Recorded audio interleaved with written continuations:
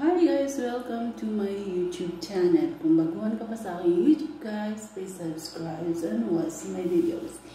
Guys, ang vlog ko ngayon ay tungkol sa mga classmate ko po dyan sa Kling National High School. Shout out po sa inyong lahat dyan. Lalo na kay Merly Berrientos, kay Ma'am Nervares, kang Sir Maaya, kay um, Rizaldo Filenio,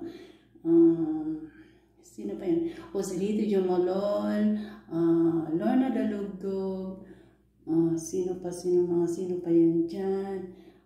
Nakalimutan ko na yung iba. Guys, kasi senior citizens na ako, past 30 years na po yan. So, yung malapit po sa Christmas tree, guys, ako po yan, yung pandak. So, tatandaan niyo. I'm Vivian Martinez from uh, Tubong Datudani, Cambas, South Cotabato. Siyempre, mm, pag natin yung Tubong Datudani ako, guys. So, Tubong Datudani, Cambas, Sarangani Province, live in San City. I'm Vivian Martinez. Studied in Green National High School nung high school pa po ako guys. Kaya yan sa thumbnail guys, yan po ang mga classmate ko. Shout out sa inyong lahat yan. Uh, Clean National High School batch namin noon dito. Yung mga picture dyan sa thumbnail, yan po ang mga kabatch ko. Uh, sino-sino pa dyan ang hindi ko nabanggit, basta na yung nasa pictures is yan po ang mga classmates na mga po yan silang lahat. Um, ang cute-cute namin dyan. Actually, malapit ako sa Christmas tree. Diba? Ang cute ko nga eh.